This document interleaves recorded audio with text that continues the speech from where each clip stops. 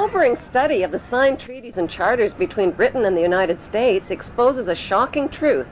The United States has always been, and still is, a British Crown colony. King James I was famous not for just changing the Bible into the King James Version, but for signing the first Charter of Virginia in 1606. That charter granted America's British forefathers a license to settle and colonize America. The charter also guaranteed that future kings and queens of England would have sovereign authority over all the citizens and colonized land in America stolen from the Indians. After America declared its independence from Great Britain, the Treaty of 1783 was signed. That treaty specifically identifies the King of England as the Prince of the United States and contradicts the belief that America won the War of Independence. Although King George III of England gave up most of his claims over his American colonies, he kept his right to continue receiving payment for his business venture of colonizing America. If America had really won the War of Independence, they would never have agreed to pay debts and reparations to the King of England. When Congress passed the 13th Amendment to the Constitution, the U.S. President was made subservient to the King of England. The 13th Amendment is called the Title of Nobility Amendment and forbids U.S. presidents and their officials from using royal titles like king or prince or baron. For some mysterious reason, the 13th Amendment, which was ratified in 1810, no longer appears on current copies of the Constitution. America's blood-soaked war of independence against the British bankrupted America and turned its citizens into permanent debt slaves of the king.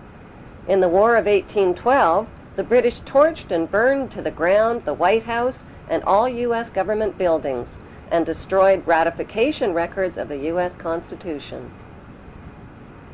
One century later, a corrupt U.S. Congress committed the biggest theft in world history.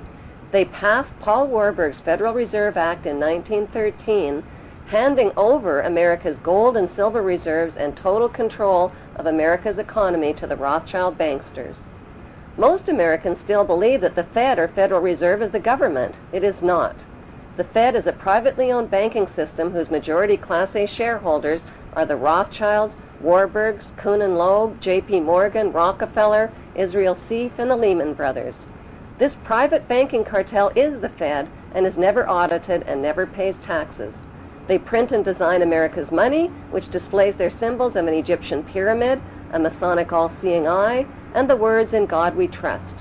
Who exactly is the God they trust? They also collect American taxpayers' money through the IRS. Then they loan it back again with interest to pay for roads, bridges, and other public works.